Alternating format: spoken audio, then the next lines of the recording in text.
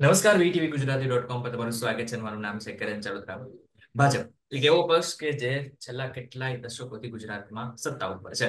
હવે નાના મોટા ઝઘડાઓ તો થતા રહેતા હોય છે, પરંતુ જ્યારે નેતા, બીજા નેતાઓ ઉપર કઈ આક્ષેપો કરે અને પ્રધાનમંત્રી સુધી આ વાત પહોંચાડવા માંગતા હોય, ત્યારે એક સવાલ થાય છે.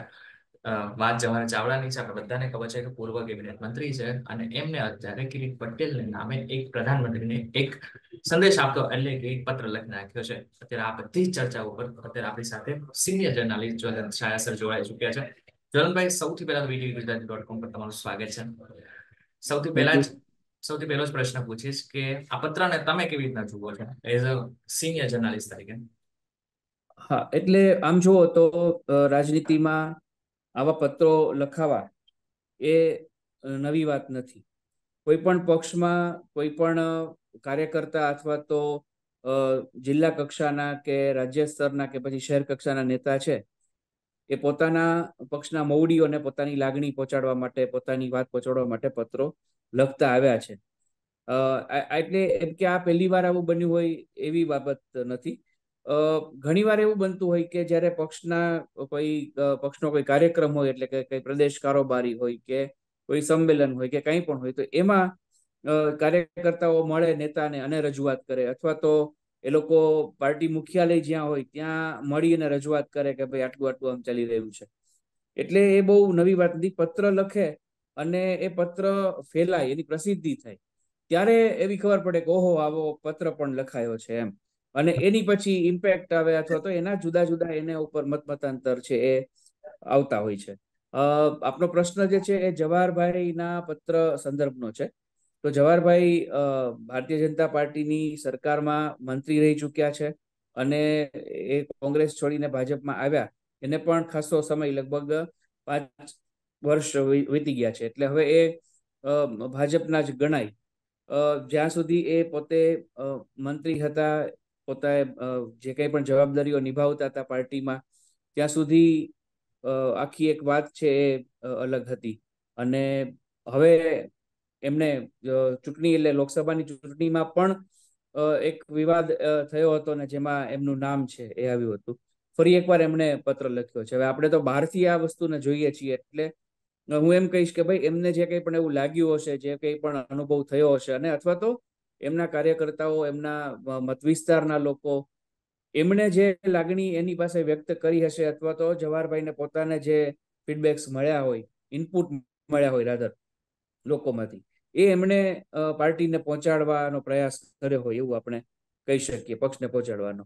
પણ પત્ર એમણે કેન્દ્રને લખ્યો છે વડાપ્રધાન કે કેન્દ્રીય નેતાગીરીને લખ્યો છે એમ સામાન્ય રીતે કોઈ પક્ષની ને ખાસ કરીને ભાજપની જે આપણે એવું માનીએ છીએ કે શિસ્તબદ્ધ પક્ષ છે તો કેડર બેઝ પાર્ટી. તો આ વાત છે એ જુનાગઢ જિલ્લા ભાજપથી શરૂ થાય, પછી પ્રદેશ ભાજપ સુધી પહોંચે, પછી પ્રદેશ ભાજપ છે કેન્દ્રને પહોંચાડે. આવી એક પદ્ધતિ હોઈ શકે કે ભાઈ આવું આવું ચાલી રહ્યું છે પણ એની બદલે જવાહરભાઈએ સીધો જ આ પત્ર લખ્યો છે.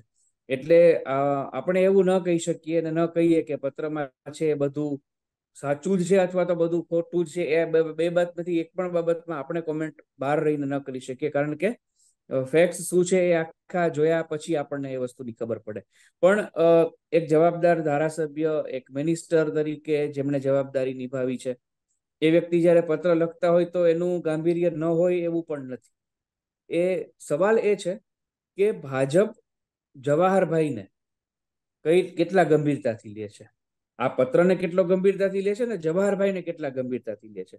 એટલા માટે કે કોંગ્રેસમાંથી જવાહરભાઈ ભાજપમાં આવ્યા એ સમયની પરિસ્થિતિ, એ સમયના રાજકીય સમીકરણો એ બધા અલગ હતા. અને એમને મંત્રી પદ આપ્યું. એમનું અનુસંધાન વર્ષોથી પારિવારિક અનુસંધાન કોંગ્રેસ સાથે હતું. એ મૂકી અને એ ભાજપમાં આવ્યા. એને એનું સ્વાગત થયું, એ બધું થયું. અને પછી જ્યારે સરકાર બદલાઈ અને જેટલા મિનિસ્ટરને ન લીધા, એમાં પણ જવાહરભાઈ એક હતા. તો પક્ષને લગભગ એ ખબર હશે કે હવે આપણે એને મંત્રીમંડળ ન સમાવીએ તો એની કોઈ આપણા સ્થાનિક રાજકારણ ઉપર, એટલે કે માણાવદર કે જુનાગઢ કે બધા જે વિસ્તારો છે, એની ઉપર કોઈ એની બહુ ગંભીર અસર નહીં પડે એવી પણ કદાચ એક વાત હોય. અથવા તો અન્ય કોઈ વ્યક્તિને ચાન્સ આપવાની વાત હોય, એ પણ એની પાર્ટીનો લુકઆઉટ છે. પણ મુદ્દો એ છે કે જો જવાહરભાઈનું મહત્વ પાર્ટીને એ રીતે હોત તો એને ફરીથી એકવાર જવાબદારી કંઈક સોંપવામાં આવી હોત, સંગઠનમાં કંઈક સોંપવામાં આવ્યું હોત. એનો અર્થ એમ છે કે પક્ષ છે એના, એનું ડિમાર્કેશન નથી કર્યું ડિવેલ્યુએશન નથી કર્યું અને એમને વ્યવસ્થામાં જે કંઈ પણ પરિવર્તન આવ્યો એ પ્રમાણે એને મિનિસ્ટ્રીમાંથી બાદ રાખ્યા છે. તો હવે પછી જવાહરભાઈના પત્રને કઈ રીતે ભારતીય જનતા પાર્ટીના મૌડીઓ લે છે? વિજયભાઈ સમયમાં તો એ કેબિનેટ મંત્રી હતા.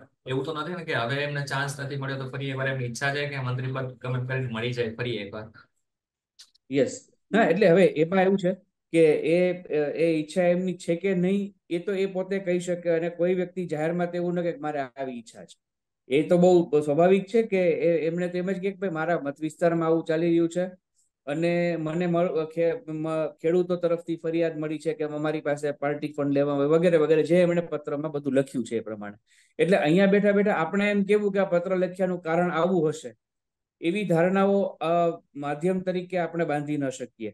એટલીસ્ટ હું પર્સનલી એવું ન કહું કે આ જ કારણ હશે. આપણે તો જે લખેલો પત્ર છે, એની ઉપર ચર્ચા કરી શકીએ એના ઊંડાણમાં અથવા તેની પશ્ચાતભૂમાં શું કારણ હોય એ આપણે ન કહી શકીએ. હંડ્રેડ પર્સન્ટ આપણે એટલું કહી શકીએ કે એક સમયે જેને મિનિસ્ટર બનાવ્યા હતા, કોંગ્રેસ પક્ષ છોડી અને ભાજપમાં આવ્યા અને મંત્રી બન્યા અને પછીના સમયમાં એમને મંત્રી પદ ન અપાયું, એટલે એને પોતાનું રાજકીય ભવિષ્ય છે એના વિશેના પ્રશ્નો થતા હોય છે થતા હોઈ શકે. એવું બને કે એમને એવું લાગતું હોય કે ભાઈ મેં મારો મૂળ પક્ષ પણ છોડ્યો અને હવે મારું અહીંયા પણ સ્થાન નથી. આ બધી વસ્તુઓ પણ હોઈ શકે. આ માત્ર એક જવાહરભાઈ માટે નથી. જે લોકો પણ ક્યારેય પક્ષાંતર કરે, એ લોકો સાથે આવું એક યા બીજી રીતે અને કોઈ ને કોઈ સમયે થતું આવતું હોય છે. એટલે એ એક કારણ છે એ આપણે ધારી શકીએ, પણ એ જ કારણ છે એવું આપણે કહીએ તો એ આપણે કોઈ એક પક્ષની વાત કરીએ એવું લાગી શકે. એટલે આ પત્ર પાછળનું કારણ કરતા પત્રની ગંભીરતા મને ને તમને લાગતી હોય અથવા તો લોકોને લાગતી હોય, જવાહરભાઈને પોતાને લાગતી હોય ને, એ વધુ ગૌણ છે. ભારતીય જનતા પાર્ટીની નેતાગીરી અને કેટલો ગંભીરતાથી લે છે આ પત્ર. જુનાગઢથી આની સાથે જ કદાચ આપને ખ્યાલ હોય કે ન હોય પણ એક પત્ર છે એ લખાયો છે અને હેમાબેન આચાર્ય બહુ વરિષ્ઠ અગ્રણી, જેમની ઉંમર પણ અત્યારે લગભગ એકાણું બાણું વર્ષ છે. અને ભારતીય જનસંઘના સમયના એ કાર્યકર્તા, આપણા પછી તો એ મંત્રી પણ રહી ચૂક્યા અને જ્યારે ભાજપનો અને જનસંઘનો સંઘર્ષનો ગાળો હતો, ત્યારે જેને રાજકીય તપશ્ચર્યા કરી એવું કહેવાય છે. એવા હેમાબેન આચાર્યએ પણ મુખ્યમંત્રીને પત્ર લખી અને કહ્યું છે કે જુનાગઢમાં આવું આવું ચાલે છે ને જુનાગઢની અવદશાના કારણો આ છે ને એમાં એમણે ભારતીય જનતા પાર્ટી વિશે આક્ષેપ અથવા તો ઉલ્લેખ કર્યા છે અને આવું અગાઉ પણ એમણે સ્વજાગૃતિના ભાગરૂપે કર્યું છે. મુદ્દો એ છે કે હેમાબેન બહુ વરિષ્ઠ અગ્રણી છે, જવાહરભાઈ છે એ કોંગ્રેસમાંથી આવેલા અગ્રણી છે. હવે આ બંનેના પત્રોમાં વિગત સાચી પણ હોય તો પણ એને ભાજપ કઈ રીતે કેટલી ગંભીરતાથી લે છે? એ બહુ મહત્વનું છે. આમાં આ બધામાં મહત્વનું છે કે પત્રમાં લખાયેલું છે, એક વ્યક્તિ એક હોદ્દો હવે આમ તો જો કે ભાજપમાં આવું જ થઈ રહ્યું છે, થતું આવ્યું છે, પરંતુ હવે જ્યારે એમ પૂછાતું કે એક વ્યક્તિ એક જ હોદ્દો અને બીજી બાજુ કિરીટભાઈ ત્રણ કરતા પણ વધારે હોદ્દા સંભાળે છે, તો હવે પ્રશ્ન તો થવાનો જ છે ને. કારણ કે ભાજપનો તો આ પછી આંતરિક મુદ્દો તો રહેવાનો. કારણ કે એક વ્યક્તિ જયારે એક કરતા વધુ હોદ્દો ધરાવે તો બીજા નેતાને તો તકલીફ પડવાની ને. હા પણ હવે એમાં એવું છે કે એ એ એ કોઈ એક વ્યક્તિની કે કોઈ એક નેતાની વાત સાચી પણ હોય પણ આ નિર્ણય સામૂહિક રીતે લેવાતો હોય છે. પાર્ટી ના મોવડી મંડળ દ્વારા લેવાતો હોય છે. પ્રદેશ ભાજપ છે એ કેન્દ્રીય નેતાગીરી છે એનું પણ એમાં માર્ગદર્શન મેળવતી હોય એની સાથે પણ એ વાત કરતી હોય. એટલે કારણ કે એક વ્યક્તિ એક હોદ્દો એ કોઈ એક જિલ્લામાં કે એક શહેરમાં લાગુ પડતી વાત નથી. એ સમગ્ર રાજ્યમાં એનો અમલ કરવાનો હોય. તો ઘણીવાર એવું બને કે એક વ્યક્તિ હોય ને બે હોદ્દા ની જવાબદારીની પાસે હોય તો એ વ્યક્તિ મહત્વની હોય એ જવાબદારી નિભાવવા બંને જવાબદારી છે એના માટે બહુ મહત્વની હોય. તો એનું રિપ્લેસમેન્ટ પાર્ટીએ શોધવું. આવી ઘણી બધી બાબતો હોય કે એક વ્યક્તિનું રિપ્લેસમેન્ટ તરત મળી શકે. બીજાનું રિપ્લેસમેન્ટ તરત ન પણ મળે. તો એ એ પક્ષ બહુ વિશાળ પરિપ્રેક્ષમાં વિચારતો હોય. એટલે એમની જવાહરભાઈની વાત ખોટી છે એવું આપણે ન કહીએ પણ માત્ર એ એક વાત ઉપર પાર્ટી તરત નિર્ણય લઈ શકે. કારણ કે આ ફેરફાર છે એક જગ્યાએ ન કરવાનો હોય, એ સમગ્રતયા પ્રદેશ કારોબાર પ્રદેશ આખા વિસ્તારમાં કરવાનો હોય, એવું પણ બની શકે. બસ. છેલ્લો એક પ્રશ્ન પૂછી લઈશ તમને, કે શું તમને લાગે છે વરિષ્ઠ પત્રકાર તરીકે કે હવે ભાજપમાં નરેન્દ્ર મોદીના ગુજરાત છોડ્યા પછી અને પછી દિલ્હી સુધી પહોંચ્યા પછી ભાજપના જેટલા નેતાઓ છે એમાં આંતરિક દખાવ તો વધે પરંતુ હવે એકબીજા સામે બોલવાનું પણ શરૂ કરી નાખ્યું છે. કારણ કે જયારે નરેન્દ્ર મોદીની સરકાર હતી ત્યારે તો એટલું ક્યારેય આપણે નથી સાંભળેલું કે આવું થયું હોય. એક પક્ષના નેતા એક જ બીજા એના જ પક્ષના નેતા સામે બોલે. હા થોડું એ પ્રમાણ છે ને હવે વધ્યું છે. નરેન્દ્રભાઈ અહીંયા હતા અને એ પછી દસ વર્ષથી ત્યાં ગયા.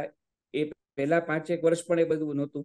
એમનો એક આખો હોલ્ડ જે પાર્ટી ઉપર રાષ્ટ્રીય સ્તરે છે એ હતું. અહીંયા એ પ્રમાણ હવે વધ્યું છે અને જે ગણગણાટ હતો ને એ હવે કોલાહલ રૂપે બહાર આવી રહ્યો છે. અને એનું કારણ પણ આ જ છે કે અન્ય પક્ષમાંથી ભાજપમાં લોકો આવે અને એમને તરત જ કોઈ પદ કે એવું આપી દેવામાં આવે ચૂંટણીની ટિકિટ આપી દેવામાં આવે, ટિકિટ મળે પછી એને મિનિસ્ટ્રી આપી દેવામાં આવે. આ જે અસંતોષ છે પાર્ટીના કાર્યકર્તાઓમાં. એ થોડો વધારે છે.